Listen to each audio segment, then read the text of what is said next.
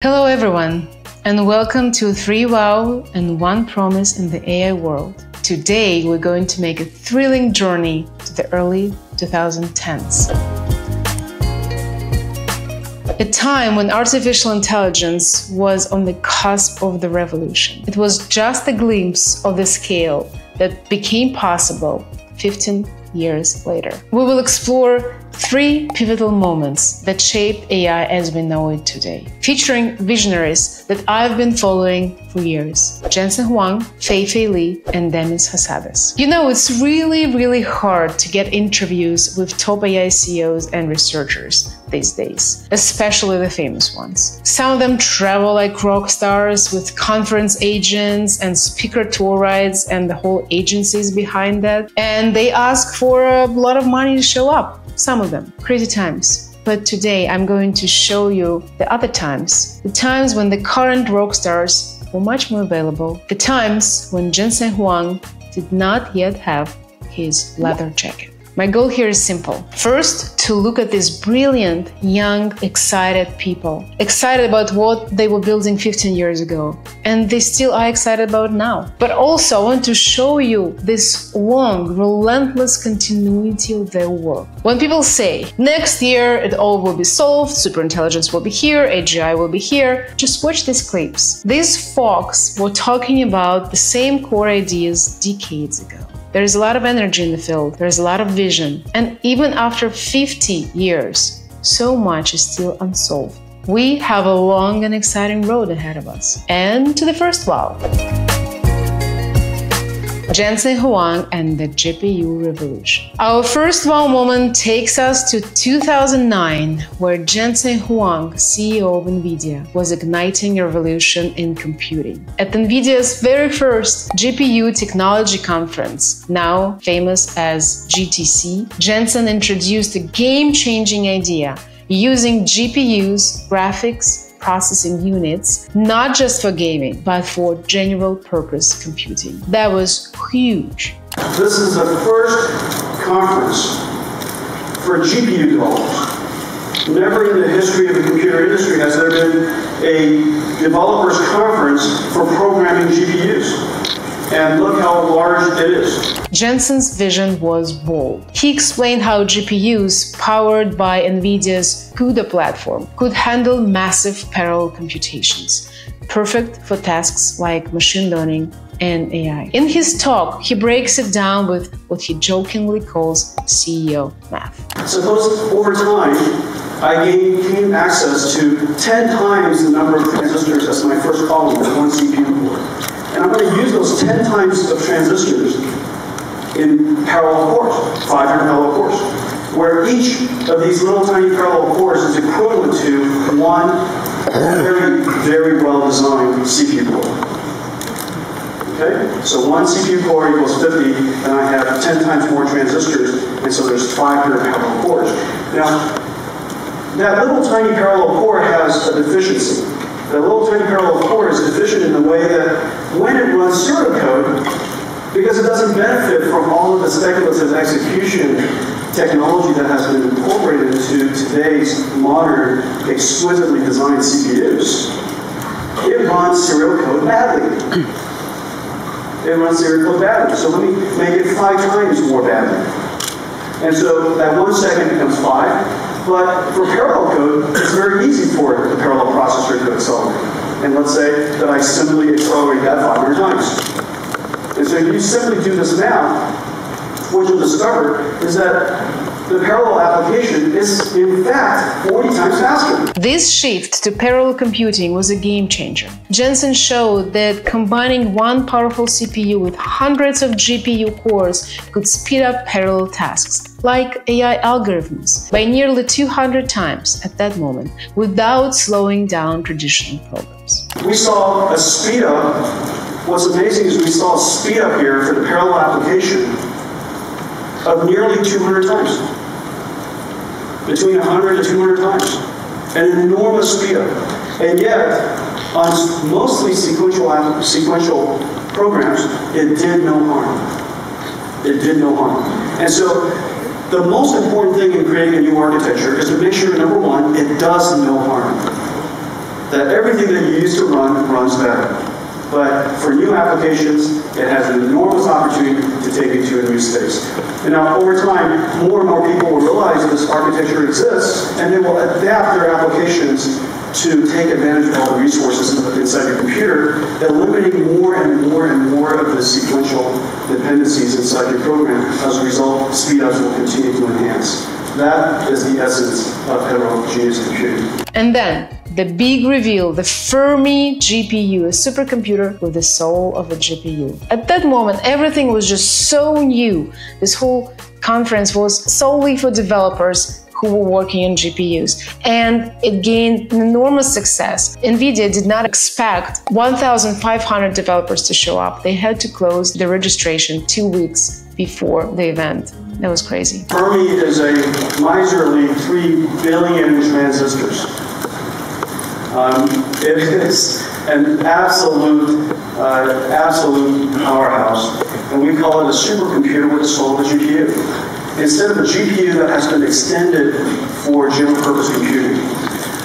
We took a massive investment and massive risk to start from the ground up a brand new architecture which is designed to be a computer first, however, to treat computer graphics and parallel computing as equal citizens Fermi, with its 3 billion transistors, was designed for both graphics and AI workloads, setting the stage for the deep learning boom. This was the moment GPUs became the backbone of modern AI, and Jensen Huang saw it coming so many years ago. The second wow is about the godmother of AI, Fei Fei Li, and ImageNet moment. So let's zoom to Stanford University, where Dr. Fei-Fei Li was tackling a different challenge teaching computers to see. In the mid 20s, Fei Fei was pioneering computer vision, a field she described as making computers understand images like humans do. Indeed, I'm going to share with you some of the um, exciting research and uh, just the field of computer vision uh, in general. So let me ask you a question. How many of you think you know what the word uh, artificial intelligence means? Raise your hand. Great. Okay. Don't worry if you don't. Here's a crash course for you. I hope you've seen the movie WALL-E. And uh, I just took excerpts from WALL-E and show you that if you were a scientist designing WALL-E, you, you're likely to be an artificial intelligence researcher, and you'll be um, empowering WALL-E with all kinds of functionalities. Her big wow moment? ImageNet, a massive database of labeled images that became the fuel for training AI to recognize objects. She came up with the idea in 2006. At that moment, that was a completely crazy idea. No one believed in it. But her team showed computers thousands of photos, teaching them to identify everything from starfish to cat. The computer knows what is the event, it's a rowing event, where it's taking place. Computer tells you it's a lake, and who are the objects involved in this, uh, in this picture. And the computer would uh, label there are trees, athletes, rowing boat, and water. So this is automatically generated by our um, computer vision algorithm. By 2012, ImageNet powered a breakthrough when a GPU-trained neural network, AlexNet, crushed the ImageNet competition, recognizing objects with unprecedented accuracy. This was the spark that ignited deep learning, and it wouldn't have happened without Fei Fei Li's vision and those GPUs Jensen Huang was championing. So um, I'm very proud to report that at Stanford Vision Lab, we are the one, the first one to have ever built a visual recognition algorithm that recognizes more than 20,000 object classes. Even Google doesn't have it. Fei Fei's work showed that with enough data and computing power, computers could start to see the world like we do, paving the way for self driving cars, facial recognition, robots talking to you and seeing you, and other artificial intelligence things.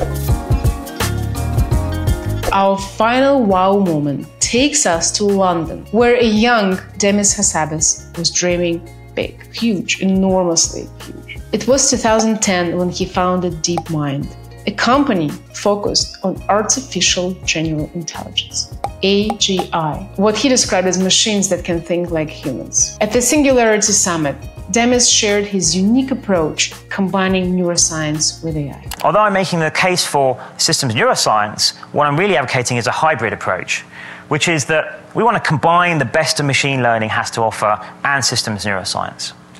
So I think I can make this most clear by saying where we know how to build a component for an AGI system, let's use the state of the art algorithms. Let's just take those, the best of breed. So whether that's reinforcement learning or hierarchical neural networks.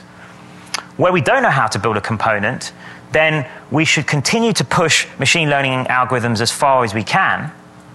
But also, it makes sense in parallel to look at systems neuroscience for ideas for potential solutions. So to do this in parallel, not one or the other. Demis argued that to build AGI, we should look to the human brain. He highlighted how neuroscience could inspire new algorithms, like those mimicking the brain's visual system on navigation cells. In 2010, just think about it, when others focused on narrow AI, weak AI, Demis was already chasing the holy grail of AGI. He talks about AGI, he calls it AGI. It was five years before OpenAI was even thought of.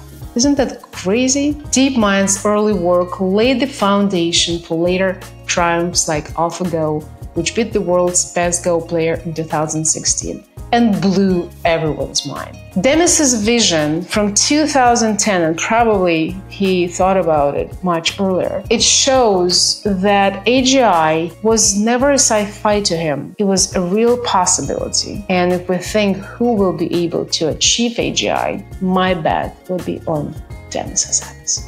There you have it, three wow moments that define AI in the early 2010s. Jensen Huang gave us the GPU horsepower. Dr. Fei-Fei Li taught computers to see with ImageNet, which sparked AlexNet and the whole deep learning movement. And Demis Hassabis set the sights on AGI with DeepMind, that later became Google DeepMind. Together, they laid the foundation for the AI revolution we're living in today. I'm excited. I am inspired by these people. They've been relentlessly working on their vision for decades, and they made it happen for all of us. But AI world would not be possible without many, many, many, many promising categories and companies and concepts that failed. And today, in the category one promise is NVIDIA that completely failed. If up to all the customers, industry analysts, other companies in the computer industry, NVIDIA shouldn't even be here today. We were already dead last among many. The world surely didn't need yet another PC graphics company, and the space was littered with tens of competitors leapfrogging each other every month. All of the conventional wisdom was true historically, but we believed completely irrelevant to the future that we saw. We believed that computer graphics was to become a massive opportunity as computing devices and displays proliferate everywhere and surround us. That the visual experience will become central to how we use computers. That generating realistic images on a computer was incredibly hard and offered years of innovation, and that great graphics will come to define future computers. We were young, naive, idealistic. We didn't know what we didn't know about building the industry and about building our company. We didn't know that it was impossible. We just imagined how great it would be if computers would do what we imagined. Our fresh and innocent perspective, unencumbered by conventional wisdom, allows allowed us to see what 30, 40, 50 other companies could not and did not. To this day, we challenge conventional wisdom with the same innocence. I wish you my third wish to see the world like a child. Thanks for joining us today for this historical episode of Three Wow and One Promise. Please share this episode with your friends and everyone else and subscribe to this channel. I will be very grateful. It's a very unconventional and very human way to look at artificial intelligence. Thank you.